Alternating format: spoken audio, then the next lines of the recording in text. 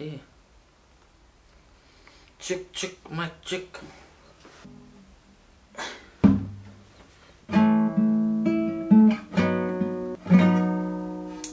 सम्बोधन यो भिडियो त्यसरी स्टार्ट गर्ने मेरो प्लान थियो तर बज्दा नि अब त्यसरी त्यसरी स्मुथ बजाउनु चाहिँ आएन आज पुस चौध आज हाम्रो लेट किङ राजा वीरेन्द्रको बर्थडे आज उहाँ जीवित हुनुभएको भए अठहत्तर वर्षको हुनुहुन्थ्यो त्यसरी यो भिडियो उहाँको लागि एउटा ट्रिब्युट भिडियो हो मैले एउटा स्केच रेडी गरेको छु जुन बनाउन मलाई तिस बत्तिस घन्टा जति लाग्यो। र यो वर्ष पनि एन्ड हुँदैछ अबको दुई दिनमा।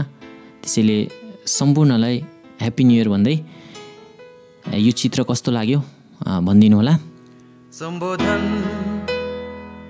तिमीलाई गर्दैछु म सिकेका सबै धुनहरूले समर्पण गीत यो गर्दैछु म तिम्रै। ती मिठा रागहरूले छाडी गयो हामीलाई।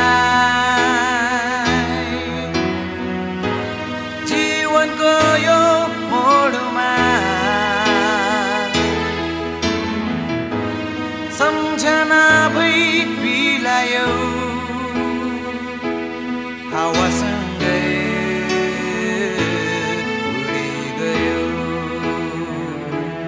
याद मात्र बर